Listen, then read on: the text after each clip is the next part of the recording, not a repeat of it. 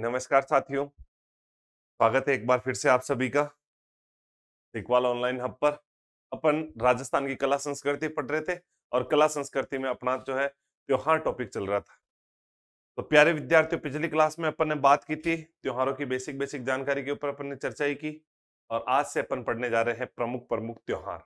सबसे पहले अपन शुरू करने जा रहे हैं हिंदू पर्व के त्योहार, हिंदुओं के त्योहार। तो देखो बेटा एग्ज़ाम की दृष्टि से बहुत ही महत्वपूर्ण टॉपिक है। सबसे पहले अपन पढ़ेंगे हिंदू पर्व। अगर मैं हिंदू पर्व की बात करूँ तो हिंदू पर्व में अपने अलग अलग महीने हैं और महीने वाइज पढ़ना ही सबसे आसान होता है। एक एक महीने के एक एक महीने वाइज पर्व पढ़ेंगे तो बहुत आसान पर्व हो जाते हैं। देखो, सबसे पहला जो पर्व होता है, सबसे पहला महीना, उसका नाम अपने चैत्र माह। चैत्र माह के कौन कौन से पर्व है? अगर मैं चैत्र माह की बात करूँ तो चैत्र महीना कौन से? अंग्रेज़ी महीनों में आता है अपने मार्च अप्रैल। मार्च व अप्रैल। सीधा अगर आपसे कभी ऐसे पूछ ले कि कौन से अंग्रेज़ी महीनों में आएगा तो ये अंग्रेज़ी महीना होगा बेटा मार्च व अप्रैल। चैत्र महीना मार्च अप्रैल महीने के अंतर्गत आता है। इसके अंदर सबसे पहले देखो, अगर अपने घड़ी की शेप में देखें, सबसे पहले अगर अपने इसे बात करें, ये मान लीजिए अपने घड़ी है। इस घड़ी में ये जैसे बारह बज रही है यहाँ पे, ये एक बज रही है, ये दो बज रही है, ये तीन बज रही है, ये यहाँ पे चार, पाँच इस प्रकार अगर अपन बात करें बेटा, इस प्रकार अगर अपन बात करें तो इस प्रकार यहाँ से अगर अपन ने शुरुआत की, यहाँ से शुरुआत की, यानी कि ये ये अपना पहला, यानी एक। अगर मैं यहाँ बात करूँ तो ये अपने चैत्र महीना है। ये मान लीजिए चैत्र के बाद वैशाख, ये ज्येष्ठ, ये अषाढ़ ये श्रावण, ये भाद्रपद, ये आश्विन, ये कार्तिक, ये मार्गशीर्ष ये पोष, ये माघ, ये फाल्गुन। यानी कि अगर मैं बात करूँ, ये एक बज रही है। एक से पहले कितनी बजी तो आप कहोगे सर बारह बजी। इसी प्रकार क्या होगा? अगर मैं आप लोगों से ये पूछूँ कि बताओ चैत्र से पहले कौन सा महीना था तो आप लोग क्या कहोगे? फाल्गुन। और फाल्गुन महीने की पूर्णिमा के दिन एक पर्व आया था, और उस पर्व का नाम क्या था बेटा अपने? होली। फाल्गुन पूर्णिमा के दिन कौन सा पर्व आता है? होली।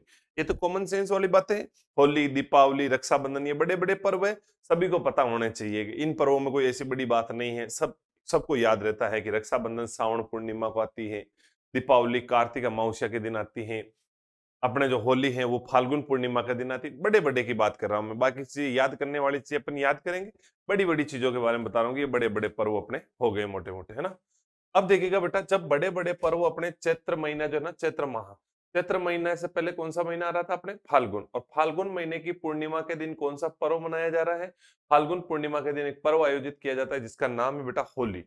अब बात करते हैं अपन चैत्र महीना। चैत्र महीने में कौन कौन से पर्व मनाए जाएँगे? होली खत्म होते अगले ही दिन, पहला पर्व आ जाता है, जो अपने चैत्र का पहला पर्व माना जाता है, और उसका नाम क्या है बेटा? धुलंडी। उसका नाम क्या है अपने?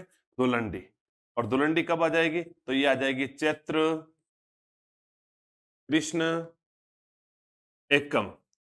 चैत्र, कृष्ण, एकम के दिन एक पर्व मनाया जाता है, और उस पर्व का नाम क्या होगा अपने? धुलंडी पर्व। देखो सबसे पहले तो मन में एक प्रश्न उठता है कि, सर, अपन धुलंडी पर्व मनाते क्यों चैत्र कृष्ण एकम के दिन अपन धुलंडी पर्व क्यों मनाते हैं? तो ये पर्व जो है, ये पर्व मनाया जाता है लोक देवता इल्लोजी लोक देवता इल्लोजी व होलिका की। याद में। की याद में मनाया जाता है। आपको सर कैसे? बताइए। मनाया जाता है। देखो, अपने एक लोक देवता हुआ करते हैं जिनका नाम है इल्लोजी।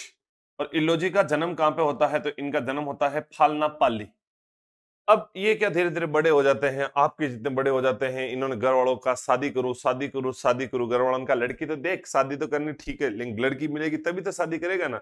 इन्होंने ठीक है, लड़की वड़की मैं देखता हूँ। इन्होंने बहुत सारी लड़कियाँ वड़कियाँ देखी, तभी इनको एक लड़की मिली थी और उसका नाम क्या हुआ करता है? होलिका है। और ये होलिका हिंडोन अपने करौली सिटी, करौली की जो है, यहाँ की एक लड़की मिलती है, होलिका। अब होलिका जब उनको मिली तो होलिका को इलोजिन देखा, उन्होंने देखा तो उन्होंने कहा नाइस, वेरी नाइस पर्सन। इन्होंने कहा कि, आप भी बहुत सुंदर हो। दोनों के बीच में एक दूसरे से बातचीत होती है। बातचीत होने के बाद शादी वादी तक की बात पहुँच जाती है। जब होलिका को इलोजी कहते हैं, अपनी तरफ़ से इजहार करते हैं कि, मैं आपसे ऐसे ऐसे शादी करना चाहता हूँ होलिका अपने आप को रोक नहीं पाती। होलिका कहती है, ओके, डन, कोई दिक्कत नहीं। तो होलिका और इल्लोजी की सगाई वगाई फिक्स हो जाती है। अब शादी करने के लिए जाते हैं। लेकिन उससे पहले क्या होलिका के बारे में ऐसे कहते हैं कि हिरण्य कश्यप नामक एक राक्षस परिवार की थी। अब हिरण्य कश्यप के एक पुत्र हुआ करता था प्रहलाद। वो भगवान विष्णु जी का बहुत बड़ा भक्त था। वो पूरे दिन भगवान विष्णु जी का जाप किया करता था। पूरे दिन विष्णु विष्णु विष्णु। तो इस बात से क्या हुआ था कि ये हिरण्य कश्यप थोड़ा नाराज़ हो गया था। हिरण्य कश्यप ने कहा, यार, ये कौन सा सांग है रोज रोज का कि पूरे दिन विष्णु जी का जाप क्या करता है? अपने तो कल शादी है घर में, कल घर में शादी है तो बाहर से लोग मेहमान आएँगे और ये मेहमानों के सामने इस प्रकार का कृत्य करेगा तो फिर क्या लगेगा? क्या अपनी इज़्ज़त रह जाएगी? फिर तो मामला सारा गड़बड़ है। तो उन्होंने प्रयास किया कि काम करते हैं कि ये जो अपने जो भक्ति कर रहे हैं, प्रहलाद पूरे दिन विष्णु जी की भक्ति कर रहा है, इसको मरवा देते हैं। तो उन्होंने मरवाने के खूब सारे प्रयास किए, लेकिन उनके सारे प्रयास असफल हुए। तो उन्होंने अपनी बहन होलिका को बुलाया, होलिका, इधर होलिका एक, यस। होलिका कहा, तेरे को वरदान मिला हुआ है। और तेरे को वरदान ये मिला हुआ है कि तुम्हारे तू अगर आग में बैठ जाती है, वो पोशाक पहन के एक विशेष ब्रह्मा जी द्वारा पोशाक प्रदान कर रखी है। उस पोशाक को पहनकर तो अगर आग में बैठ जाती है तो तू जलेगी नहीं। बाकी जो है ना, प्रहलाद जलकर राख हो जाएगा। उन्होंने कहा, ओके भैया, डन। मैं अभी बाथरूम में जाके नहा के आती हूँ। पोशाक वोशाक रखी, बेड पेन, बाथरूम में नहाने वाने के लिए गए होंगे। इतना में भगवान विष्णु जी ने क्या कर दिया, उनकी पोशाक को बदल दिया था। और होलिका जो है, अपने फाल्गुन पूर्णिमा के दिन ना धो करके न्यू बाड़ो वाड़ो को नाते तैयार व्यार होके फेर लवली लगा करके आई जैसे ही बाहर और बाहर आकर के उन्होंने पोशाक वोशाक पहनी और पोशाक पहनकर प्रहलाद को गोद में लेकर आग में बैठ जाती है। लेकिन विष्णु जी ने उनकी पोशाक बदल दी थी, इसलिए होलिका जलकर राख हो जाती है और प्रहलाद को भगवान विष्णु जी ने बचा लिया था। उस घटना के बाद अगले दिन इलोजी वहाँ बारात लेकर पहुँचे थे। बारात लेकर पहुँचे थे तो होलिका जलकर राख हो चुकी थी। फिर इलोजी खूब रोए, खूब रो रो के उन्होंने गाने वाने गाए होंगे। तुम्हारे बिन नहीं जिया जाएगा, ये, वो। और वो जो होली की जो राख थी ना, वो जहाँ पर वो जलकर राख हुई थी, उस सारी राख को अपने शरीर पर डाल डाल के इलोजी ने क्या खेल ली बेटा? होली खेल ली थी। इस घटना की याद में उन्होंने क्या कर ली थी? इस प्रकार होली खेल ली थी। इस घटना की याद में अपन कौन सा पर्व मनाया करते हैं? तो इस घटना की याद में अपन होली पर्व मनाया करते हैं धुलंडी पर्व मनाया करते हैं। फिर इलोजी महाराज ने कहा था कि अगर होली का तुम नहीं जीवन में तो फिर कोई नहीं, और वो आजीवन ब्रह्मचारी जीवन की प्रतिज्ञा करते हैं। उसी समय प्रतिज्ञा कर लेते हैं कि मैं आजीवन ब्रह्मचारी रहने की भीषण प्रतिज्ञा करता हूँ। ऐसी प्रतिज्ञा मैं नहीं कर रहा हूँ, ध्यान रखना। ऐसी प्रतिज्ञा किन्होंने करी थी बेटा? इलोजी महाराज ने करी। तो लोक देवता इलोजी और होलिका की याद में ये पर्व मनाया जाता है। लेकिन इस बात, पर्व की सबसे खास बात यह है बेटा कि मेवाड़ क्षेत्र में, मेवाड़ क्षेत्र में यह पर्व नहीं मनाया जाता है। मेवाड़ क्षेत्र में यह पर्व नहीं मनाया जाता है। नहीं मनाया जाता है। मेवाड़ क्षेत्र में यह पर्व नहीं मनाया जाता है। कारण क्या है? तो इस दिन इस दिन मेवाड़ के महाराणा, मेवाड़ के महाराणा उदय सिंह जी की मृत्यु हुई। मेवाड़ महाराणा उदय सिंह जी की मृत्यु हुई।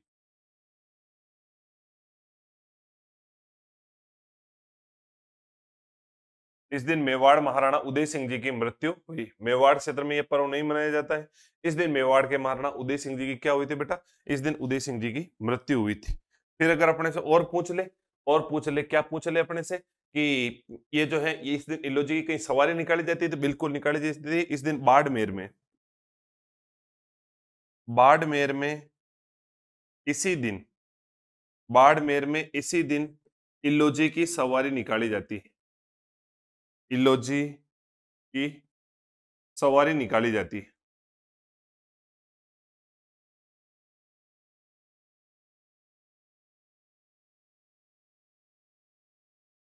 अपने इलोजी महाराज की सवारी कहाँ निकाली जाती है इस दिन? बाड़मेर में बड़ी धूमधाम से सवारी निकाली जाती है। एक बार आप सारी चीज़ें वापस देख लीजिएगा। तो पहला अगर अपन पर्व की बात करें तो सबसे पहला पर्व अपना कौन सा हो जाएगा बेटा? दुलंडी पर्व। चैत्र कृष्ण एकम के दिन मनाया जाता है। कौन से लोक देवता की याद में मनाया जाता है? इलोजी व होलिका की याद में। कौन से क्षेत्र में यह पर्व नहीं मनाया जाता है? तो विशेष तौर से अंडरलाइन कर देता हूँ, मेवाड़ क्षेत्र में पर्व नहीं मनाया जाता है। कारण क्या है? होली के अवसर पर मेवाड़ के महाराणा उदय सिंह जी की मृत्यु हुई थी और उदय सिंह जी की मृत्यु के कारण ये पर्व नहीं मनाया जाता है। लेकिन अगर आपसे ये पूछ ले कि इलोजी महाराज की सवारी कहाँ की प्रसिद्ध है तो बाड़मेर में इलोजी महाराज की सवारी निकाली जाती है तो बहुत ही प्रसिद्ध है और इस सवारी निकालने की परंपरा प्रचलित है। तो अपना एक पर्व तो हो गया अपने धुलंडी पर्व। अगर मैं आगे चलूँ, दूसरा पर्व कौन सा आएगा चैत्र महीने में? तो दूसरा पर्व आता है अपने शीतलाष्टमी। अगला पर्व कौन सा बेटा? शीतलाष्टमी। धुलंडी धुलंडी के बाद अपना कौन सा आ जाता है? शीतलाष्टमी पर्व मनाया जाता है। देखिएगा बेटा, शीतलाष्टमी अगर पर्व की बात करें, शीतलाष्टमी पर्व क्यों मनाया जाता है, कैसे मनाया जाता है? तो ये पर्व जो है, ये पर्व मनाया जाता है अपने चैत्र, कृष्ण अष्टमी के दिन। चैत्र, कृष्ण अष्टमी के दिन एक पर्व मनाया जाता है, जिसका नाम है अपने शीतलाष्टमी पर्व। देखो, अपने एक माता जी हुआ करते हैं, जिनका नाम है शीतला माता। और शीतला माता का प्रसिद्ध मंदिर हुआ करता है गाँव, जयपुर के पास, चाकसू गाँव, जहाँ पे। देखो, शीतला माता के बारे में ऐसा कहा जाता है, ऐसी किवदंतियाँ प्रचलित है कि एक बार चाकसू गाँव में बहुत ज़्यादा दरिद्रता थी। तो दरिद्रता समाप्त करने के लिए लक्ष्मी जी शीतला माता का रूप धारण करते हैं और शीतला माता का रूप धारण करके वो जो है उस गाँव में एंट्री करते हैं। जैसे गाँव में एंट्री करी, गाँव में एंट्री करने के बाद वो पूरे गाँव में घूमे और पूरे गाँव में जब घूम रहे थे तो पूरे गाँव में घूमते घूमते घूमते घूमते ऐसे सारे गाँव को चेक कर रहे थे कितना दरिद्र गाँव क्या है। तो ऐसे कहते हैं ऊपर से एक महिला जो है खाना बनाती है और खाना बनाने के बाद गरम गरम चावल का पानी होता है, वो पानी सीधा ऊपर से फेंकती है। और जब ऊपर से वो पानी फेंका गया तो नीचे से शीतला माता निकल रहे थे तो उनके शरीर के ऊपर। उनका शरीर झल करके उनके शरीर पर बड़े बड़े फपुंदे फपुंदे हो गए थे पूरे शरीर के ऊपर। जब इस प्रकार की घटना हो जाती है तो फिर बाद में क्या होता है कि उनके शरीर के ऊपर ऐसे छेद टाइप छेद टाइप हो जाते हैं। फिर वो पूरे गाँव में इधर उधर भागते हैं। कोई उनको घर में किसी घर में शरण नहीं देता है। लेकिन अनंत उस गाँव में कुमार जाति की महिला थी, वो पूरे गाँव में सबसे गरीब थी। उनके घर में गए। तो उन्होंने उनके घर में उनको प्रवेश दिया। उनके शरीर पर जो भी छोटी मोटी उनके पास दवाई ववाई थी, उनसे लेप लगाया। फिर उनके शरीर में ठंडक पहुँचे, इसलिए उनको दही छाछ पिलाया था। फिर शीतला माता जी खुश हुए थे। फिर उन्होंने कहा कि, मैं आपके घर में मेहमान स्वरूप आई हूँ। मुझे बैठने की कोई व्यवस्था तो कीजिए? उन्होंने कहा कि, यार, हम व्यवस्था कहाँ करें? हमारे तो खुद के बैठने के लिए पूरी व्यवस्थाएँ नहीं है। हमारे यहाँ पर ऐसा कोई साधन नहीं जिसके पर हम बिठा करके आपकी अच्छी सी व्यवस्थाएँ कर सके। उनका देखो, अब आपको करनी पड़ेगी। कोई ना कोई व्यवस्था तो करनी पड़ेगी। उनका ठीक है, एक काम कर लीजिएगा, ये जो है, बैठ जाइए, आपके हिसाब से कोई साधन दिखे। तो शीतला माता को और तो कुछ दिखता नहीं, वहाँ पे गधा दिख जाता है, बैठा हुआ। और कुमार जाति के लोगों के पास गधा अक्सर रहा करता था। गधे का ये लोग बहुत ज़्यादा प्रयोग किया करते थे। गधे का प्रयोग क्यों किया करते थे बेटा? तो गधे का प्रयोग इसलिए करते थे क्योंकि इनको बाहर से जो है, तालाबों से मिट्टी वगैरह लानी होती थी, कच्ची मिट्टी। तो किस पर लेकर आते थे? गधे पर। फिर लकड़ियाँ इकट्ठी करके लानी होती थी, क्योंकि उनको मटिया पकानी होती थी। तो मटिया पकाने के लिए लकड़ियाँ, वो भी कहाँ से लानी होती थी उनको? जंगल से। फिर बाद में अगर अपन बात करें तो लकड़िया उकड़िया के अलावा इनको जो है, एक वो मटकी बेचने के लिए भी इनको जाना पड़ता था। तो बेचने के लिए जाते थे तो मटिया बेचने के लिए जाते थे तो वो किस पर बैठ के जाते थे? गधे पर। तो इसलिए भी इनके लिए गधा बहुत महत्वपूर्ण हुआ करता है। तो गधा जो है, गधा ही शीतला माता जी क्या बन जाती है, सवारी बन जाती है। ये पर्व किन की याद में मनाया जाता है? तो दो चार बातें याद रखनी है अपन को। यह पर्व लोक देवी लोक देवी शीतला माता की याद में। शीतला माता की याद में। याद में मनाया जाता है।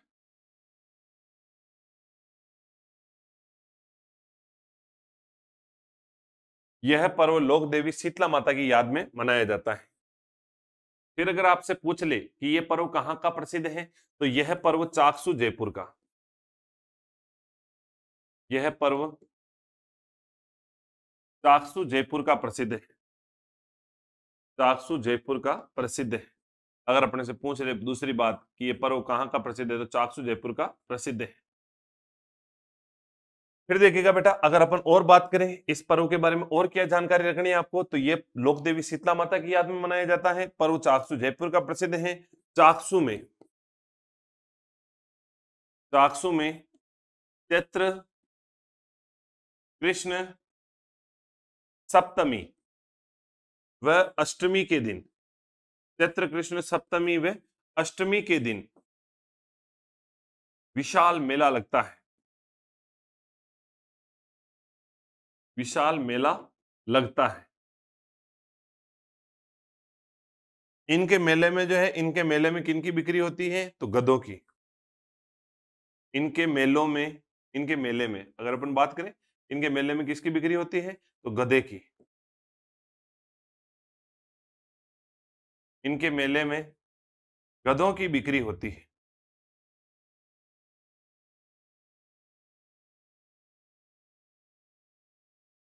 अगर आपसे पूछ ले इनके मेले में किन की बिक्री होती है तो इनके मेले में गधे की बिक्री होती है। यह पर्व चाकसू जयपुर का प्रसिद्ध है। लोक देवी शीतला माता की याद में मनाया जाता है। चैत्र कृष्ण अष्टमी के दिन पर्व का आयोजन किया जाता है। चाकसू में चैत्र कृष्ण सप्तमी व अष्टमी को विशाल मेला लगता है। इनके मेले में गधों की बिक्री होती है। वेरी इंपॉर्टेंट जानकारी है। ये भी अपने को थोड़ी सी बात याद रखनी है। फिर बाद में अगर आप लोगों से और अगर और पूछ लिया जाए कि और क्या याद रखना है तो यहाँ पर शीतला माता के जो मेला होता है, उस मेले में प्रसाद के रूप में, शीतला माता के अगर अपने से पूछ ले, प्रसाद के रूप में। शीतला माता के प्रसाद स्वरूप। प्रसाद स्वरूप। दही व हाथ चढ़ाई जाती है। चढ़ाई जाती है। अपन को ये बात भी याद रखनी है। बाकी एक और बात याद रखना कि इस दिन जो है मनोकामना पूर्ण होने पर। मनोकामना पूर्ण होने पर। पूर्ण होने पर। शीतला माता के। शीतला माता के। झाड़ू चढ़ाए जाते। झाड़ू चढ़ाए जाते। हैं अपने ये बात भी थोड़ी सी इंपॉर्टेंट है। कि शीतला माता के मनोकामना पूर्ण होने पर क्या चढ़ाया जाता है बेटा? झाड़ू चढ़ाए जाते हैं। कौन सी लोक देवी के झाड़ू चढ़ाए जाते हैं? तो शीतला माता के मनोकामना पूर्ण होने पर। वापिस देख लो, शीतलाष्टमी चैत्र कृष्ण सप्तमी चैत्र कृष्ण अष्टमी, यह पर्व लोक देवी शीतला माता की याद में मनाया जाता है। यह पर्व चाकसू जयपुर का प्रसिद्ध है। चाकसू में कृष्ण सप्तमी व अष्टमी को विशाल मेला लगता है। इनके मेले में गधों की बिक्री हुआ करती है। शीतला माता के प्रसाद स्वरूप दही व छाछ चढ़ाया जाता है। ये कुछ बातें आपको जो है अंडरलाइन कर देते हैं ताकि आपको याद रह जाएगा कौन कौन सी बातें याद रखनी है। तो पर्व किनकी याद मनाया जाता है? शीतला माता की। पर्व कहाँ का प्रसिद्ध हुआ करता है? अपने चाकसू जयपुर का प्रसिद्ध हुआ करता है। चाकसू जयपुर में चैत्र कृष्ण सप्तमी व अष्टमी को क्या लगा करता है? विशाल मेला लगता है। इनके मेले में सबसे ज़्यादा बिक्री किनकी होती है? गधों की। क्योंकि शीतला माता की सवारी क्या होती है बेटा? गधा। शीतला माता के प्रसाद स्वरूप क्या चढ़ाया जाता है? तो इनके प्रसाद स्वरूप दही वे छाछ चढ़ाई जाती है। इसके अलावा मनोकामना पूर्ण होने पर यहाँ क्या चढ़ाए जाते हैं? झाड़ू। यानी कि माता जी ने कौन सी पार्टी ज्वाइन कर ली है अपने? आम आदमी पार्टी ज्वाइन कर ली है। अगर आपसे पूछ ले कि राजस्थान की वह लोक देवी जिन्होंने आम आदमी पार्टी ज्वाइन कर ली है तो वो कौन सी देवी हो जाएगी अपने? शीतला माता। कहने का मतलब आपको याद रखना है, आम आदमी पार्टी का प्रतीक चिन्ह क्या है? झाड़ू। और बाकी अगर अपने से पूछ ले, कौन सी लोग देवी के झाड़ू चढ़ाए जाते हैं अपने? शीतला माता के यहाँ झाड़ू चढ़ाए जाते हैं। एक दो बातें अपने और याद रखनी है इसके बारे में। फिर अपने से पूछ ले, शीतला माता की मूर्तियाँ कैसी होती हैं? तो शीतला माता की खंडित मूर्तियाँ। शीतला माता की खंडित मूर्तियाँ होती है। जिनकी पूजा की जाती है। पूजा की जाती है।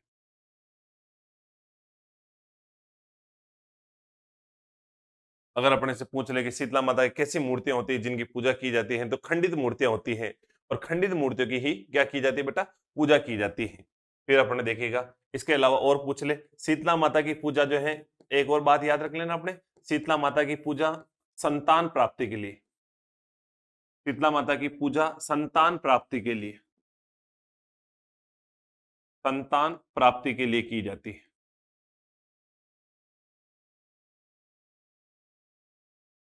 की जाती है। फिर अपने एक बात और याद रखना बेटा, कि शीतला माता जो है शीतला माता के पुजारी।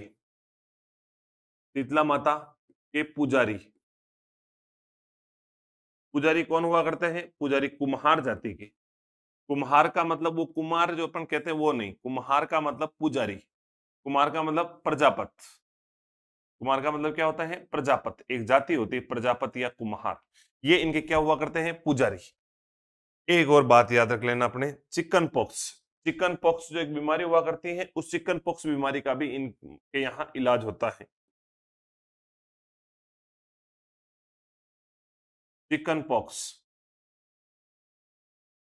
बीमारी। बीमारी का शीतला माता के। शीतला माता के इलाज होता है।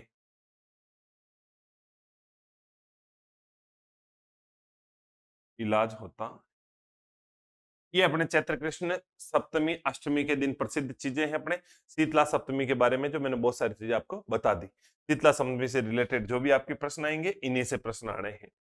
फिर अपन देखो, अष्टमी के दिन ही एक और चीज़ का आयोजन किया जाता है, और उसका नाम है अपने गुड़ला। गुड़ला महोत्सव। एक महोत्सव और मनाया जाता है बेटा, और उस महोत्सव का नाम क्या हो जाएगा अपने, गुड़ला महोत्सव। देखिएगा, गुड़ला महोत्सव की अगर मैं बात करूँ एक और महोत्सव आता है, बड़ा शानदार महोत्सव और उस महोत्सव का नाम क्या अपने? गुड़ला महोत्सव। ये गुड़ला महोत्सव कैसे मनाया जाता है, क्यों मनाया जाता है कब मनाया जाता है? तो गुड़ला महोत्सव भी मनाया जाता है अपने चैत्र, कृष्ण अष्टमी। चैत्र कृष्ण अष्टमी को एक महोत्सव मनाया जाता है बेटा और चैत्र कृष्ण अष्टमी को कौन सा महोत्सव मनाया जाता है अपने? गुड़ला महोत्सव। गुड़ला महोत्सव का आयोजन कब किया जाता है? चैत्र कृष्ण अष्टमी।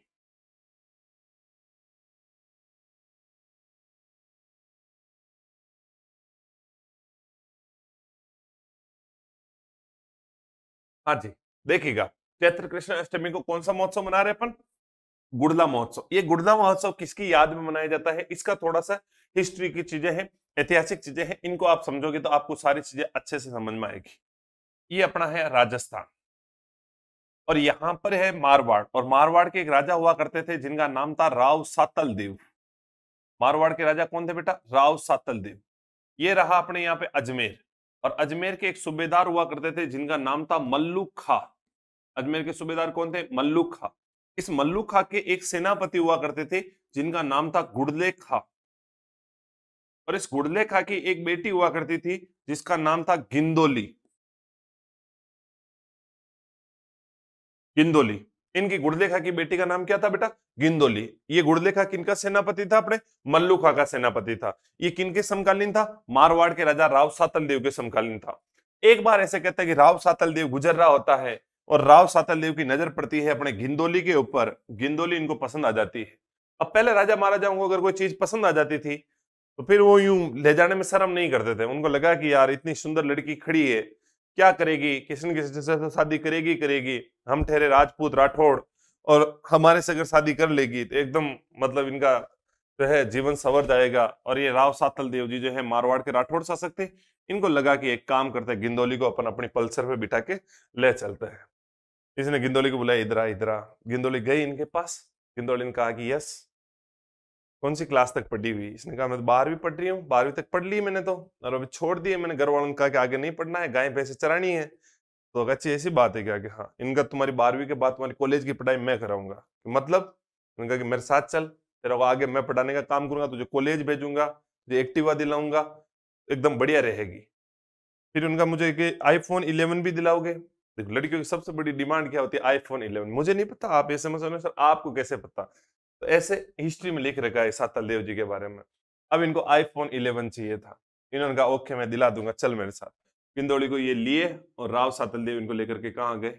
यहाँ घर पर। गाना वाना गाता है बगा लाया हूँ तुझे तेरे घर से, तेरे बाप के डर से। सारे वारे गाने वाने गा करके इनको सीधा मारवाड़। अब जैसे मारवाड़ पहुँचे पीछे से पिताजी को पता चला, लड़की गायब। पिताजी को पता चलेगा, नॉर्मल सी बातें हैं कि पता चल नहीं है। अब जब इनको पता चला गुड़लेखा को कि पता किया कहाँ गई कहाँ गई तो पता चला कि जोधपुर के महाराजा सातल देव जी उठा के ले गए। अब ये सातल देव इतने ताकतवर राजा थे उस समय की गुड़लेखा तो छोटे मोटे सूबेदार थे, इनका बस की बात नहीं थी कि इनके ऊपर हमला कर सके। थोड़े दिन निकले येन केन पर कारण, तभी एक पर्व आ जाता है अपने मारवाड़ का और वो पर्व आता है गणगौर। और गणगौर में क्या होता है, लड़कियाँ जो ना गाँव से बाहर पूजा करने के लिए जाया करती है। किसकी पूजा करती है? तो गण का मतलब शिव, गौर का मतलब पार्वती। वो पार्वती जी से प्रार्थना करती है पार्वती जी, जितने अच्छा पति आपको मिला, उतना अच्छा पति हमें भी मिले। लेकिन ऐसे पूजा करने से कभी अच्छे पति मिलते हैं क्या? पूजा करने से अच्छे पति मिलते तो फिर बाद में सभी पूजा करने लग जाते हैं। ऐसे सब फर्जी बातें हैं, ऐसा कोई अच्छा पति वति नहीं मिलते हैं।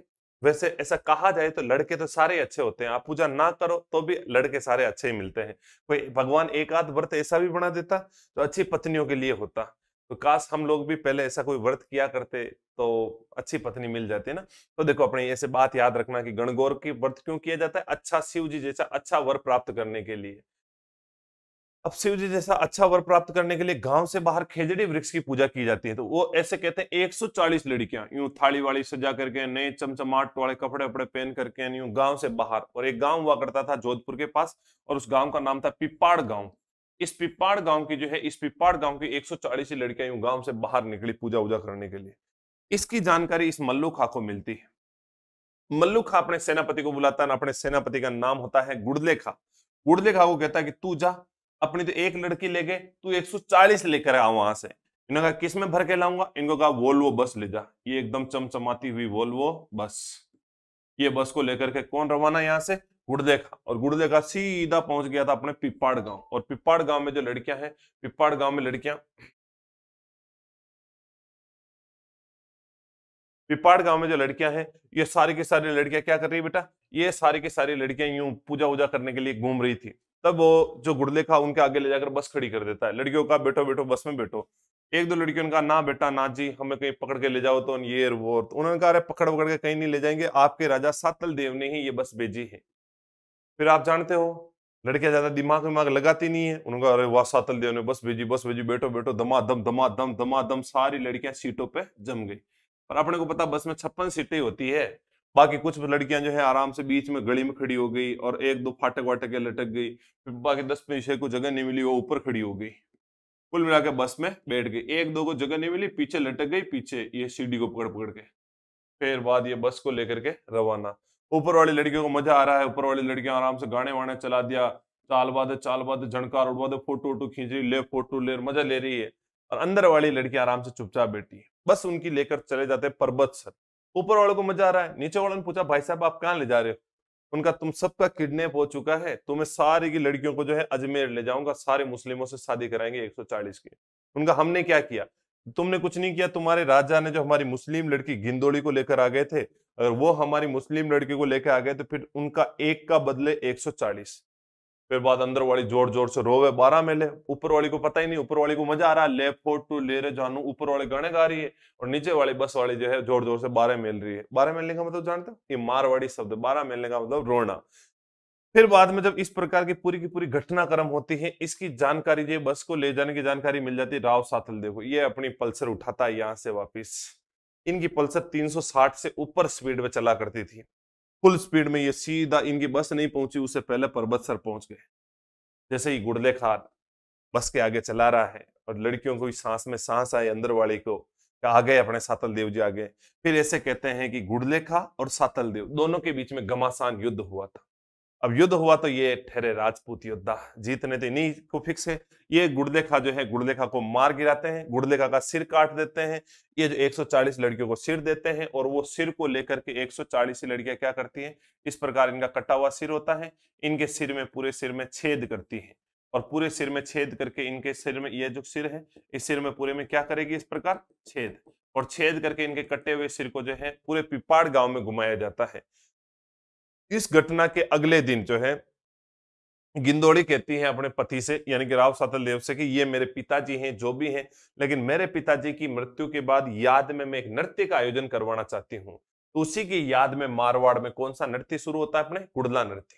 अब ये पूरी की पूरी घटना आपको समझ में आई? उस समय राजा कौन थे? राव सातल्य। उस समय अजमेर के सूबेदार कौन थे? मल्लुखा। मल्लुखा के सेनापति का नाम क्या था? गुड़देखा गुड़देखा की छोरी का नाम क्या था अपने? गिंदोड़ी गिंदोड़ी को कौन भगा ले गया? राव सातल इस बात से नाराज़ होकर के गुड़देखा कहाँ चला गया था? मारवाड़। और मारवाड़ के कहाँ पर? मारवाड़ के किस राजा को? तो मारवाड़ के एक राजा हुआ करते थे राव सातल देव और राव सातल देव की जो पुत्री थी माल राव सातल देव की यहाँ पे पिपाड़ गाँव की 140 लड़कियाँ थी। 140 लड़कियों को उन्होंने किडनैप कर लिया था। और किडनैप करके पर्वत सर के निकट ले गए थे, जहाँ पर गुड़लेखा सातल देव के मध्य युद्ध हुआ था, जिसमें गुड़लेखा मारा गया था। और गुड़लेखा का कट्टा हुआ सिर जो है, गुड़लेखा का कट्टा हुआ सिर पूरे पिपाड़ गाँव जोधपुर में घुमाया था। तो इस घटना की याद में कौन सा नृत्य किया जाता है अपने? गुड़ला नृत्य किया जाता है। अब मैं इनको सारी चीज़ों को थ्योरी में लिख देता हूँ ताकि आपको चीज़ें समझ में आ जाएगी।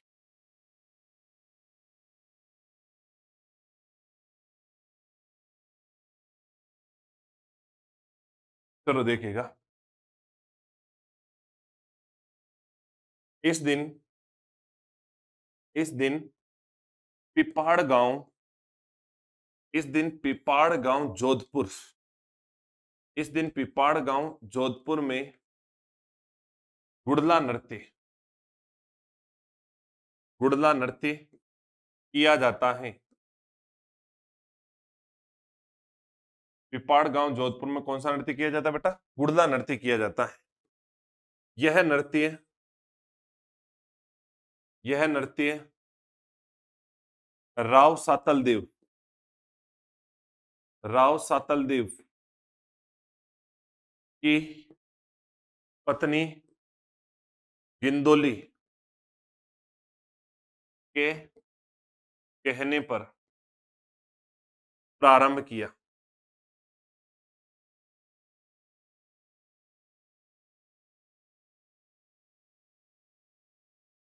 फिर अगर अपने से पूछ ले और बातें तो इसमें क्या किया जाता है? महिलाएँ रात्रि काल में, महिलाएँ रात्रि काल में, रात्रि काल में छिद्रित छिद्रित मटका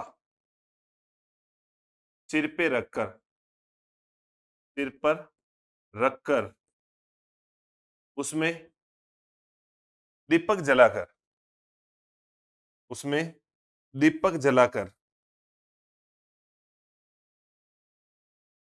नृत्य करती हैं। नृत्य करती हैं। ये बात भी अपने को याद रहनी चाहिए कि इस प्रकार जो है नृत्य किया जाता है। इस दिन क्या किया जाता है? पिपाड़ गाँव जोधपुर में गुड़दा नृत्य किया जाता है। यह नृत्य राव सातल देव की पत्नी गिंदोली के कहने पर प्रारंभ किया गया था। महिलाएँ रात्रि काल में छिद्रित मटका सिर पे रखकर नृत्य करती हैं और ऐसे याद रख लेना, राव सातल देव ने राव सातल देव ने 140 तीजरणिया तीजरणियों का मतलब क्या हो जाएगा बेटा? तीजरणिया तीजरणिया का मतलब हो जाएगा तीज का व्रत करने वाली। तीजरणिया को गुड़ले खा गुड़ले खा से बचाया। किनसे बचाया था आपने? गुड़ले खा से बचाया था। इस घटना की याद में। कितनी तीजरणियों को बचाया था? कितनी कितनी तीजनियों को बचाया था? 140 तीजनियों को बचाया था। किसने बचाया था अपने? गुड़ले खाने बचाया था। इस घटना की याद में जो है, इस घटना की याद में यह पर्व मनाया जाता है। तो राव सातल देव ने 140 तीजनियों को गुड़ले खा से बचाया था। इस घटना की याद में यह पर्व मनाया जाता है। सारी बातें आपको समझ में आ गई? आगे देखिएगा। इसके बाद अगर अपन बात करें तो उसके बाद पर्व आता है अपने कौन सा? उसके बाद पर्व आता है दशा माता पर्व। दशा माता पर्व। बड़ा इंपॉर्टेंट पर्व है। दशा माता पर्व। अगर अपन दशा माता पर्व की बात करें तो ये पर्व कब मनाया जाता है बेटा? ये पर्व मनाया जाता है अपने चैत्र, कृष्ण, दशमी। मुख्य रूप से ये पर्व कहाँ का प्रसिद्ध है? बहुत सारों ने तो नाम ही पहली बार सुना होगा, मेवाड़ क्षेत्र का। मेवाड़ क्षेत्र का ये पर्व प्रसिद्ध है। मेवाड़ क्षेत्र का पर्व प्रसिद्ध है। अगर अपने से पूछ ले कि ये पर्व कहाँ का प्रसिद्ध है तो ये पर्व अपने मेवाड़ क्षेत्र का प्रसिद्ध हुआ करता है। वेरी इंपॉर्टेंट है। मेवाड़ क्षेत्र का ये पर्व प्रसिद्ध है। कहाँ का प्रसिद्ध है बेटा? मेवाड़ क्षेत्र का। फिर अगर अपने से पूछे कि दशा माता जो है, किसकी याद में मनाया जाता है तो घर की दशा सुधारने के लिए। घर की दशा सुधारने के लिए। घर की दशा सुधारने के लिए। अपने से कोई पूछ ले कि ये पर्व क्यों मनाया जाता है तो घर की दशा सुधारने के लिए पर्व मनाया जाता है।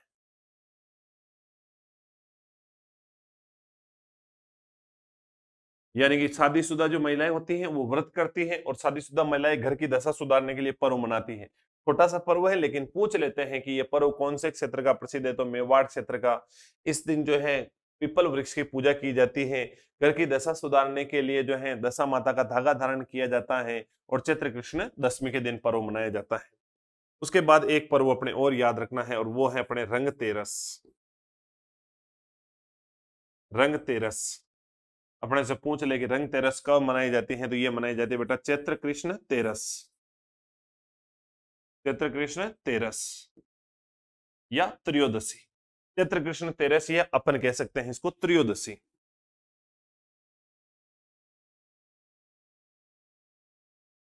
चैत्र कृष्ण तेरस या त्रयोदशी के दिन कौन सा पर्व मनाया जाता है अपने? रंग तेरस पर्व मनाया जाता है। ये पर्व किस घटना की याद में मनाया जाता है या क्यों मनाया जाता है? तो रंग तेरस पर्व जो है, रंग तेरस पर्व चैत्र कृष्ण त्रयोदशी या तेरस के दिन रंग तेरस पर्व मनाया जाता है और ये पर्व इसलिए मनाया जाता है ताकि रंग तेरस जो है यह हमारे चित्तौड़गढ़ और इसके अलावा जो भिलवाड़ा वाला भूभाग है, जहाँ पर धुलंडी और शीतला सप्तमी धूमधाम से न मनाकर ये पर्व ज़्यादा मनाया जाता है। तो भिलवाड़ा वह चित्तौड़गढ़ का यह पर्व प्रसिद्ध है। चित्तौड़गढ़ का यह पर्व प्रसिद्ध है। अगर अपने पूछ ले कि कहाँ का प्रसिद्ध है अपने राजस्थान में तो दो ज़िले अपने को ध्यान रखने हैं। भीलवाड़ा व चित्तौड़गढ़ का प्रसिद्ध है। इस दिन भीलवाड़ा में एक नृत्य किया जाता है और कौन सा नृत्य किया जाता है तो मांडल भीलवाड़ा। मांडलगढ़ नहीं है बेटा, ध्यान रखना, मांडल है। मांडलगढ़ अलग जगह है और मांडल अलग है। तो मांडल भीलवाड़ा मांडल भिलवाड़ा में इस दिन। ये बिल्कुल भिलवाड़ा शहर के निकट है, सात किलोमीटर दूर। मांडल भिलवाड़ा में इस दिन नाहर नृत्य। कौन सा नृत्य होगा बेटा? नाहर नृत्य किया जाता है।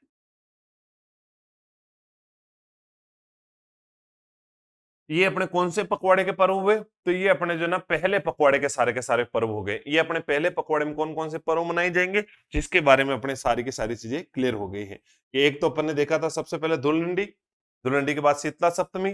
शीतला सप्तमी के बाद गुड़ला महोत्सव। गुड़ला महोत्सव के बाद दशा माता। दशा माता के बाद रंग तेरस और रंग तेरस के बाद अब अपन शुरू करते हैं अगला पकवाड़ा और अगले पकवाड़े में सबसे पहले बात करते हैं अपन नवरात्रि की।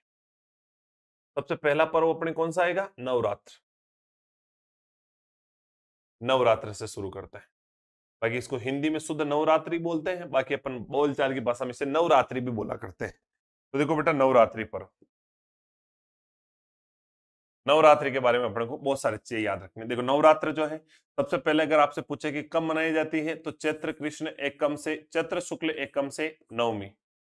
चैत्र शुक्ल एकम से नवमी। चैत्र शुक्ल एकम से नवमी तक ये पर्व मनाया जाता है। अगर आपसे पूछे, नवरात्र कब मनाए जाते हैं तो चैत्र शुक्ल एकम से चैत्र शुक्ल नवमी तक ये पर्व मनाया जाता है। नवरात्र पर्व क्यों मनाया जाता है या किस घटना की याद में मनाया जाता है? तो ये जो है, अपने दुर्गा माँ की माता जी की याद में मुख्य रूप से नवरात्र पर्व मनाया जाता है। अगर आपसे पूछ ले कि एक वर्ष में, एक वर्ष में नवरात्र कितनी बार आती है? तो एक वर्ष में नवरात्र आती है बेटा चार बार। कितनी बार आती है? चार बार आती है। आप कहोगे, ना ना, बाबा, ऐसे कैसे आती है चार बार? सर, हमने तो दो बार ही सुना है।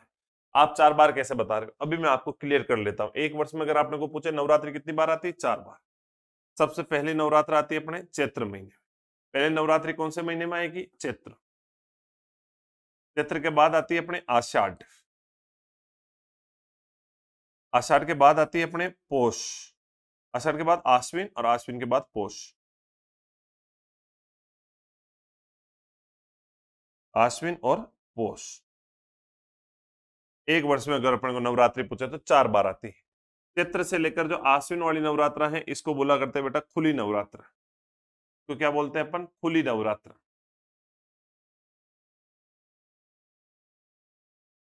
ये जो दोनों नवरात्र हैं, इन दोनों नवरात्रा को बोला जाता है गुप्त नवरात्र।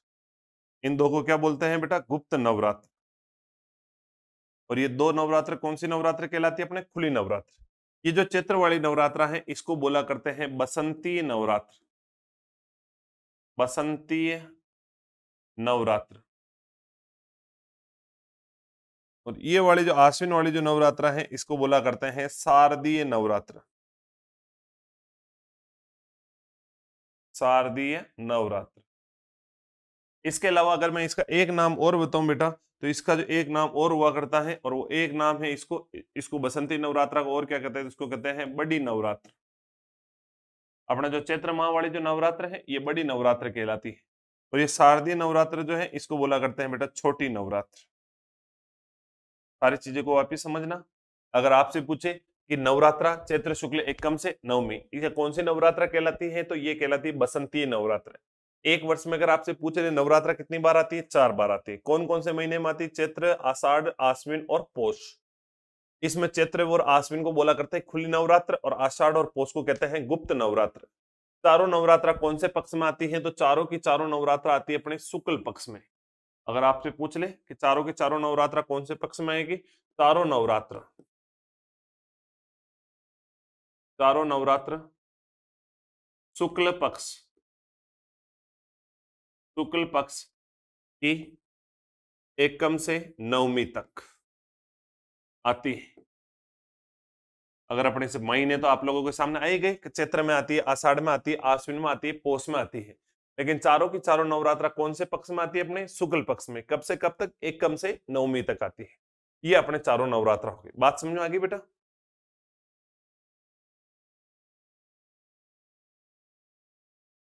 आगे शुरू करें इसके बाद। उसके बाद देखिएगा, नवरात्र के बाद अगर अपना आगे बढ़ते हैं तो उसके बाद आता है नव वर्ष।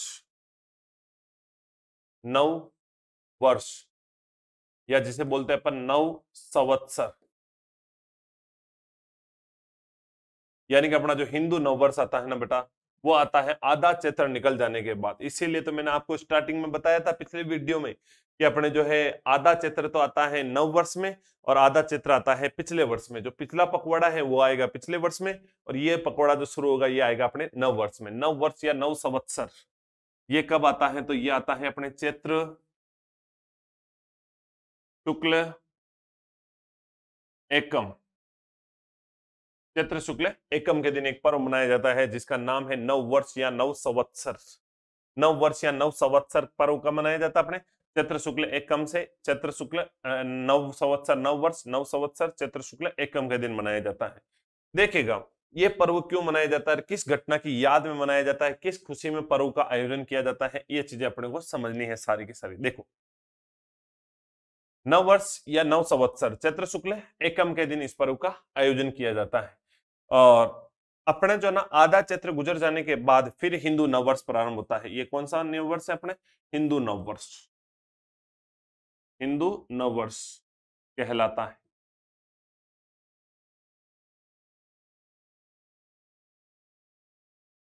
इसके अलावा अपने को और क्या याद रखना है? तो इस समय, इस दिन से जो ना, इस दिन से प्रकृति अपना सब कुछ परिवर्तन करती है।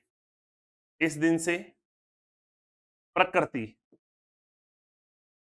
अपना सब कुछ परिवर्तित परिवर्तित करती आपको कि सर, समझे नहीं। प्रकृति अपना सब कुछ कैसे परिवर्तित करती है? आप देखते हो बेटा, प्रकृति नए पेड़ पौधे नए पन्ने आना, नए सारी चीज़ें होना, प्रकृति में सारी चीज़ों में नयापन आना शुरू हो जाता है। प्रकृति कुल मिला के जो भी करती है, उसमें नयापन सा दिखना शुरू हो जाता है। प्रकृति में नए पेड़, पौधे पेड़ पौधे उगना शुरू हो जाते हैं। पेड़, पौधे के जो पत्ते होते हैं, वो पत्ते गिरने के बाद नए पन्ने आना शुरू हो जाता है। प्रकृति में इस टाइम परिवर्तन बहुत ज़्यादा होता है। इसीलिए अब अपने एग्ज़ाम की दृष्टि से सबसे खास बात यह है कि इसी दिन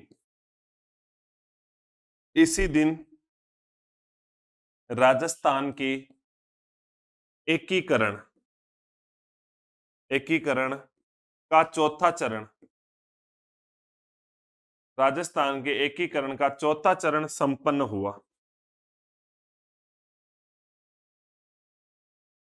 इसी दिन अपने राजस्थान के एकीकरण का चौथा चरण संपन्न हुआ। इसी दिन राजस्थान की राजधानी, राजस्थान की राजधानी राजधानी जयपुर को बनाया गया। जयपुर को बनाया गया। इसी दिन राजस्थान की राजधानी किसे बनाया गया बेटा? राजस्थान की राजधानी अपने जयपुर को बनाया गया। फिर अगर अपने से कुछ बातें और पूछेंगे, एक दो पर्व के और बारे में देखते हैं, फिर अपन थोड़ी सी बात कर लेते हैं सिंजारा के बारे में। एक चीज़ आती है सिंजारा। अगर मैं आप लोगों से कहूँ, सिंजारा क्या होता है? तो सिंजारे का मतलब होता है मेकअप सामग्री। या जो लड़का या लड़की के लिए जो भेजा जाता है, उसे बोलते हैं सिंजारा। मुख्य रूप से सिंजारा लड़कियों के लिए भेजा जाता है।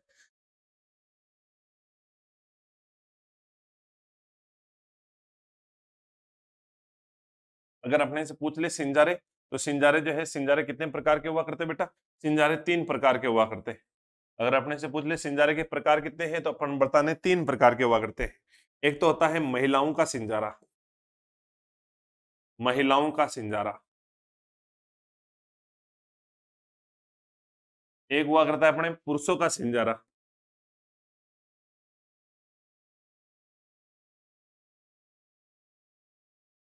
एक हुआ करता है अपने बच्चों का सिंजारा।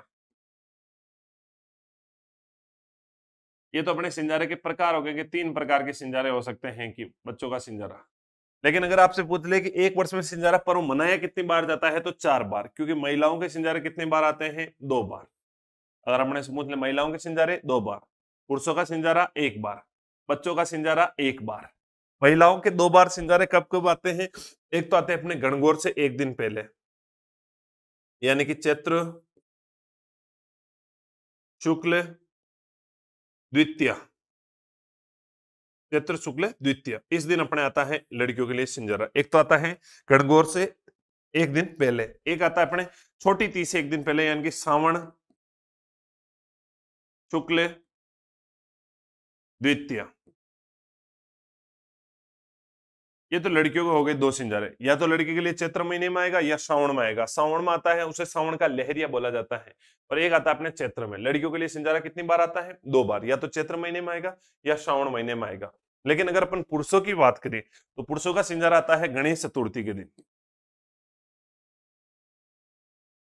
गणेश चतुर्थी। और गणेश चतुर्थी कब आती है? कभी ऐसे एग्ज़ाम में आ जाए तो याद करना अपने गणेश ने क्या कर रखी? है बीएससी बी का मतलब क्या हो जाएगा बेटा? बी का मतलब हो जाएगा भाद्रपद। इसका मतलब शुक्ल। और सी का मतलब चतुर्थी। सी का मतलब क्या हो जाएगा अपने? चतुर्थी। और छोटे बच्चों के कब आता है? तो इनके आता है होली के अवसर पर। होली के अवसर पर। होली के अवसर पर। तो देखो बेटा अपने सिंजारा सिंजारा जो है, अगर आपसे पूछ ले सिंजारा सिंजारा कितने प्रकार के हुआ करते हैं अपने? तीन प्रकार के। महिलाओं के सिंजारे, पुरुषों के सिंजारे, बच्चों के सिंजारे। अगर अपने से फिर पूछ ले कि महिलाओं के जो सिंजारे हैं, ये कितने प्रकार के हुआ करते हैं? दो प्रकार के। कौन कौन से? एक तो हुआ करते हैं चैत्र, शुक्ल, द्वितीय के दिन। एक हुआ करता है अपने श्रावण, शुक्ल, द्वितीय के दिन। पुरुषों का एक ही प्रकार का होता है, गणेश चतुर्थी पर आता है। और एक होता है अपने बच्चों का, जो होली के अवसर पर आया करता है। ये अपने सिंजारे के बारे में थोड़ी सी बातें याद रखनी हुई फिर अगर अपन और बात करें तो उसके बाद अपन बात कर लेते हैं गणगौर।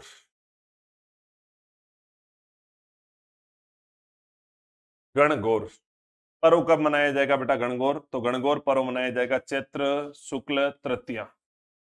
चैत्र, शुक्ल, तृतीया के दिन एक पर्व मनाया जाता है और पर्व कौन सा मनाया जाता है अपने? गणगौर पर्व। गणगौर पर्व का आयोजन कब किया जाता है? तो गणगौर पर्व का आयोजन किया जाता है चैत्र शुक्ल तृतीया के दिन। ये पर्व किस घटना की याद में मनाते हैं? तो देखो, ये जो है गण का मतलब क्या होता है यहाँ पे? गण से आशय होता है शिव। और गौर से मतलब क्या होता है? तो गौर से मतलब होता है पार्वती गौर से क्या मतलब हो जाएगा अपने? पार्वती गण का मतलब क्या हो जाएगा? शिव। गौर का मतलब क्या हो जाएगा अपने? पार्वती। गण का मतलब शिव। गौर का मतलब पार्वती। इस दिन भगवान शिव व पार्वती जी की क्या की जाती है? पूजा की जाती है। आगे देखिएगा आप अपने। गण का मतलब शिव, गौर का मतलब पार्वती। मुख्य रूप से मारवाड़ क्षेत्र में। मुख्य रूप से मारवाड़ क्षेत्र में। मारवाड़ क्षेत्र में गणगौर पर्व मनाया जाता है। गणगौर पर्व मनाया जाता है। अगर अपने से पूछ ले कि मुख्य रूप से गणगौर क्षेत्र कहाँ का प्रसिद्ध है तो मारवाड़। लेकिन अपने से पूछ ले गणगौर की सवारी। अपने से क्या पूछ लेंगे बेटा? गणगौर की सवारी। तो गणगौर की जो सवारी निकाली जाती है ना, वो कहाँ की प्रसिद्ध है? तो गणगौर की सवारी जयपुर की प्रसिद्ध है। गुलाबी नगरी की प्रसिद्ध है। जयपुर की प्रसिद्ध है। गणगौर के दिन प्रसिद्ध सवारी निकाली जाती है। प्रसिद्ध सवारी, ये कहाँ की है? तो प्रसिद्ध सवारी है। जयपुर की प्रसिद्ध सवारी यानी कि अगर अपने से पूछ ले कि गणगौर की सवारी, जयपुर की प्रसिद्ध सवारी है, ये भी अपने को थोड़ी सी बात याद रखनी है। इस दिन किसकी पूजा होती है? तो भगवान शिव और पार्वती जी की। कुंवारी लड़कियाँ क्या चाहती हैं? तो जो कुंवारी लड़कियाँ हुआ करती हैं, वो अच्छा वर प्राप्त करने के लिए। कुंवारी लड़कियाँ क्या चाहती हैं? अच्छा वर। अपने जब पूछ ले कुंवारी लड़कियाँ अच्छा वर प्राप्त करने के लिए। अच्छा वर प्राप्त करने के लिए।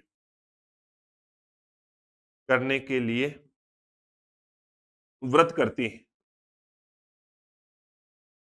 जो कुंवारी लड़कियाँ होती हैं, वो अच्छा वर प्राप्त करने का, एकदम क्यूट सा सोना सा वर चाहिए उनको। जिस जिस लड़की को क्यूट वर चाहिए, वो कब वर्त करे अपने? गणगौर पर।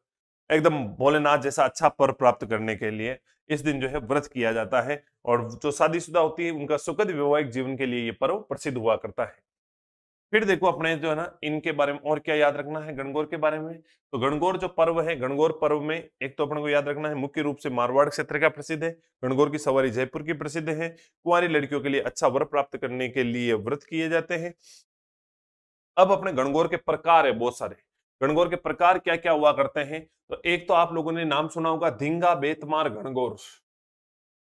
धिंगा बेतमार गणगौर। एक नाम सुना होगा आपने, धिंगा गवर गणगौर। धिंगा गवर गणगोर। धिंगा गवर गणगोर। तो अगर अपने से पूछ ले कि धिंगा बेतमार गणगोर कहाँ के प्रसिद्ध हैं तो ये धिंगा बेतमार गणगौर प्रसिद्ध हुआ करती है मारवाड़। मारवाड़ का मतलब होता है बेटा जोधपुर। मारवाड़ जोधपुर की ये प्रसिद्ध है। इसमें क्या किया जाता है? मेला लगता है, धिंगा बेतमार का मेला।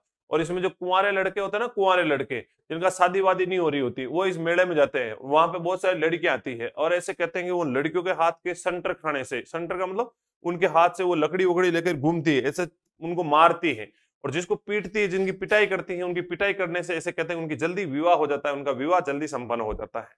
तो जिन जिन लड़कों की शादी नहीं हो रही है जिन जिन लड़कों का ब्याह में दिक्कत आ रही है, वहाँ जाओ इस धिंगबार बेतमार गणगौर में अपनी पिटाई करवाओ, पीछे से सुताई कराओ और सुताई करा के अपने ब्याह कराओ। और धिंगा गौर गणगौर जो है, धिंगा गौर गणगौर कहाँ की प्रसिद्ध है? तो ये उदयपुर की प्रसिद्ध। उदयपुर की प्रसिद्ध। दोनों चीज़ें अपने को याद रखनी है कि उदयपुर की क्या प्रसिद्ध है? तो धिंगा गवर गणगौर। और धिंगा बेतमार गणगौर कहाँ की प्रसिद्ध है? तो ये मारवाड़ की प्रसिद्ध हुआ करती है। अब अगर अपने से और पूछे कि गुलाबी गणगौर गुलाबी गणगौर। तो ये गुलाबी गणगौर कहाँ की प्रसिद्ध है बेटा? गुलाबी गणगौर प्रसिद्ध हुआ करती है अपने नाथ द्वारा। और नाथ द्वारा कहाँ पे है? तो नाथ द्वारा है राजसमंद। एग्ज़ाम आया था ये प्रश्न एक बार कि गुलाबी गणगौर कहाँ की प्रसिद्ध है? पहले विकल्प जयपुर दे रखा था। बालकों के कानों से धुएँ बाहर आ गए। बालकों ने सोचा अच्छा गुलाबी गणगौर, गुलाबी नगरी जयपुर की होगी। बाद में पता चला कि गुलाबी गणगौर, गुलाबी नगरी जयपुर की ना है। ये कहाँ की है नाथ द्वारा राजसमंद की है और कब मनाई जाती है? तो ये गणगौर मनाई जाती है अपने चैत्र, कृष्ण, चैत्र, शुक्ल, पंचमी के दिन। चैत्र, शुक्ल, पंचमी के दिन वेरी इंपॉर्टेंट चैत्र, शुक्ल, पंचमी के दिन। फिर एक अपने को याद रखनी, बिना ईश्वर की गणगौर। बिना ईश्वर की गणगौर। ये भी अपने को ध्यान रखने की, बिना ईश्वर की गणगौर कहाँ की प्रसिद्ध है? तो बिना ईश्वर की गणगौर प्रसिद्ध है बेटा जैसलमेर की। अपने से पूछ ले, बिना ईश्वर की गणगौर कहाँ की है? जैसलमेर की प्रसिद्ध है। कहाँ की प्रसिद्ध है? जैसलमेर की प्रसिद्ध है। यहाँ पे केवल पार्वती जी की सवारी निकालते हैं, शिव जी कह दियो आज आज तो अपना पैर वेर दर्द करे। आज आप आराम करा और एक काम कर, चतुर्थी है, तृतीय के दिन खूब घूमे। चतुर्थी के दिन यहाँ सवारी निकाली जाती है। केवल पार्वती जी की सवारी निकाली जाती है। केवल पार्वती जी की। कब निकाली जाती है? तो ये निकाली जाती है चैत्र, शुक्ल, चतुर्थी, एक दिन बाद। गणेश जी ने कह दिया शिव जी ने कह दिया होगा, अपने तो एक काम कर, आज तू ही जाया मेरी गोर और अब मेरा पैर वेर दर्द करे, कल खूब घूमे, घूमने के कारण पैर दर्द हो रहे हैं। इस दिन जो है पार्वती जी अकेले जाते हैं मतलब केवल गोरी की सवारी निकाली जाती है। तो धिंगा बेतमार गणगौर, मारवाड़, धिंगा गौर गणगौर, उदयपुर, गुलाबी गणगौर नाथद्वारा बिना ईसर की गणगौर, जैसलमेर की प्रसिद्ध हुआ करती है। बाकी अपने गणगौर की सवारी जयपुर की प्रसिद्ध है। मारवाड़ का ये पर्व धूमधाम से मनाया जाता है। इस पर्व के दिन क्या किया जाता है? तो गणगौर पर जो अगर अपने से पूछ ले, गणगौर के दिन मारवाड़ में किस वृक्ष की पूजा होती है तो खेजड़ी। गणगौर पर्व पर मारवाड़। मारवाड़ में खेजड़ी वृक्ष की पूजा। खेजड़ी वृक्ष की पूजा होती है। अपन ये बात भी याद रखनी गणगौर पर्व पर मारवाड़ में कौन से वृक्ष की पूजा होती है? अपने खेजड़ी वृक्ष की पूजा हुआ करती है। फिर अगर अपने से और अगला पर्व पूछे तो एक पर्व अपने को और याद रखना है छोटा सा, और उस पर्व का नाम क्या है? तो उस पर्व का नाम हुआ करता है बेटा, एक छोटा सा पर्व है बिल्कुल, जिसका नाम है अपने अशोकाष्टमी। लेकिन एग्ज़ाम में बहुत बार पूछा हुआ है। अशोकाष्टमी, अशोक धन अष्टमी, अशोकाष्टमी, कब आएगा? तो ये मनाया जाता है अपने चैत्र, शुक्ल अष्टमी के दिन। चैत्र, शुक्ल अष्टमी के दिन। कौन से वृक्ष की पूजा होती है? अशोक वृक्ष की पूजा होती है। अशोक वृक्ष की पूजा होती है।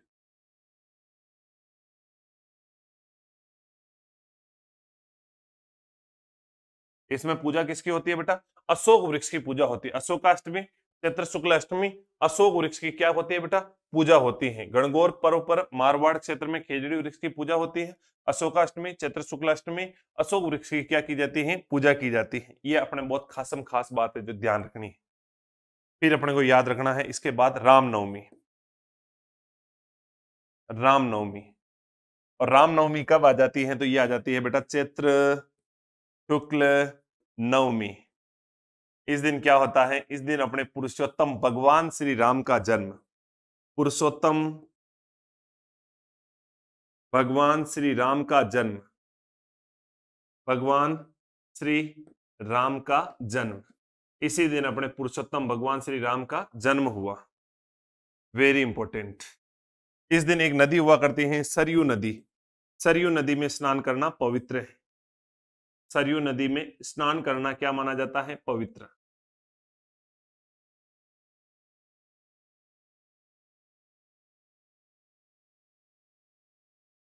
अपने एक नदी हुआ करती बेटा सरयू नदी। उस सरयू नदी में स्नान करना क्या माना जाता है? पवित्र माना जाता है। फिर देखो एक बार में और दो पर्व और है ताकि अपना चैत्र पूरा खत्म हो जाए। फिर अपना आता है आ, कौन सा पर्व? तो उसके बाद आती है महावीर जयंती।